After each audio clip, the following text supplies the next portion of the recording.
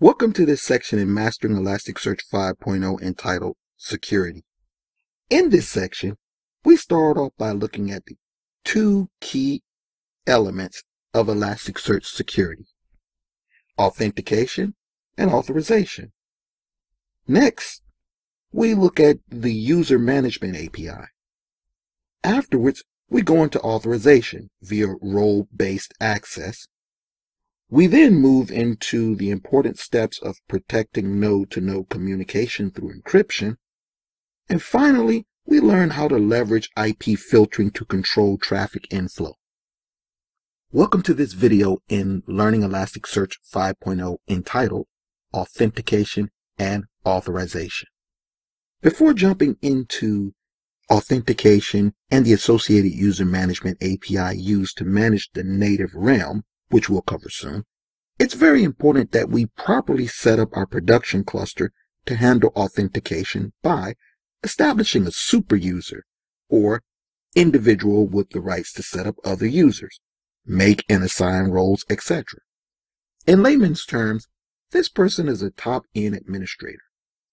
To handle this, Elasticsearch via XPack provides what are known as built-in users. If you set up XPack before, you've seen this user with the name Elastic and the password change me. That's the default password. Needless to say, you must change this password in production. Built-in users are applied to Elasticsearch, Kibana, and Logstash.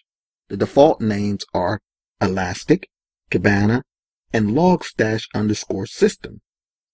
One final point about built-in users is that they are not stored in the user index in Elasticsearch.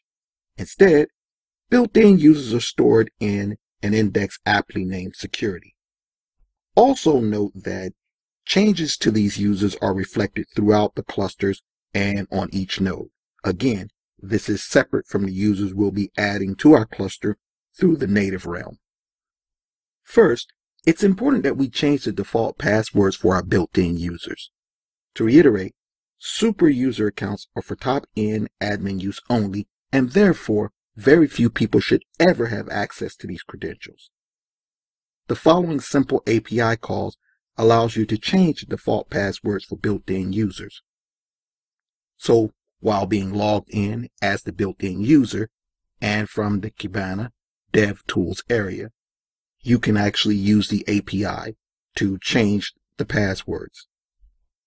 This is the one for the Elastic user in Elasticsearch. This is how you would change it. And this is how you would change the password for Kibana. Note that once you change the passwords for Kibana and Logstash, you will also need to update their respective YML configuration files. Very important. So here you go to the Kibana.yml file and you update the elasticsearch.password to the new Kibana password. And again, same with Logstash. You go to the location of the Logstash configuration file and you go to the XPack monitoring Elasticsearch password setting and you put the password there. Before going into production mode, it is of utmost importance that the default password functionality also be disabled.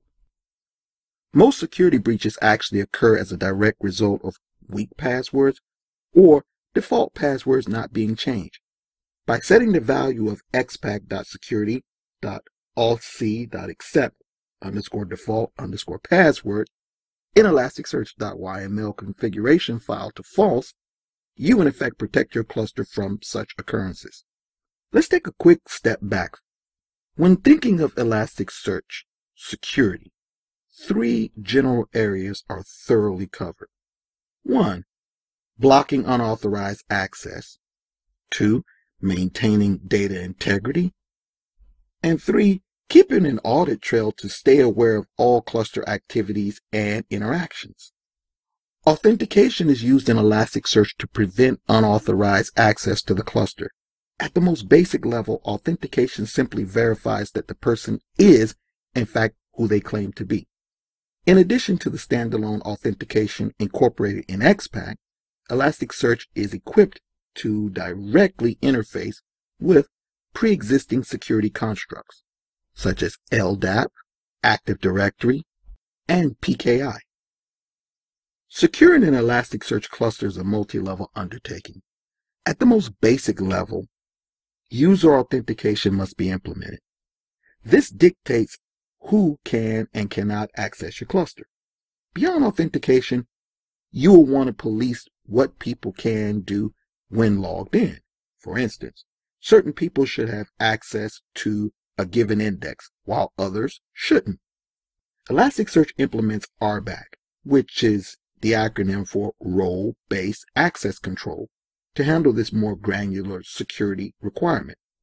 More specifically, RBAC in Elasticsearch allows you to control access at the index, document, or even field level.